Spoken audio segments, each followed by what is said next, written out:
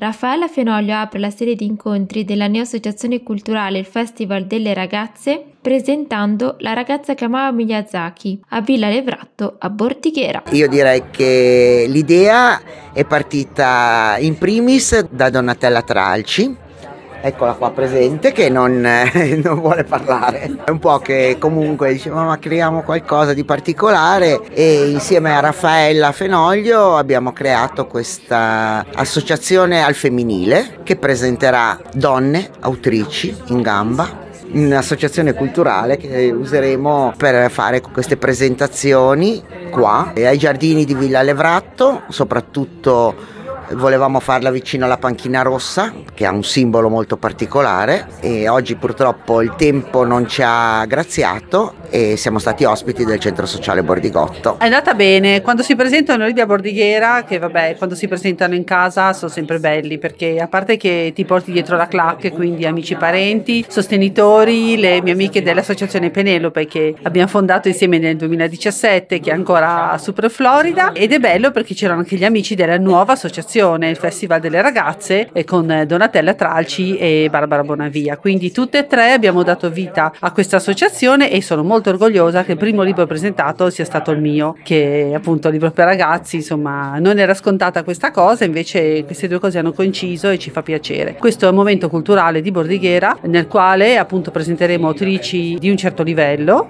e non solo, e anche personaggi del mondo delle, dell'editoria, quindi abbiamo intenzione di invitare delle editrici, delle editor, delle docenti di narratologia, insomma persone, donne che diano il loro contributo nel mondo mondo letterario italiano. E quindi insomma tutti attenti perché abbiamo già due appuntamenti a luglio e poi abbiamo molte cose in scaletta. Piano piano attraverso gli organi di stampa, attraverso la pagina Facebook, Instagram, eh, vi metteremo a corrente degli impegni che abbiamo preso. Sono molto contenta di come sia andata prima, il primo appuntamento della nostra associazione. Diciamo che abbiamo ricevuto comunque non, non solo i complimenti, ma molto sostegno dalle persone che si sono rese conto che oggi sarebbe nata questa nuova associazione. E un sostegno grandissimo, oltretutto lo ricordiamo, abbiamo Marco Balbo che ci accompagnerà in tutti questi incontri,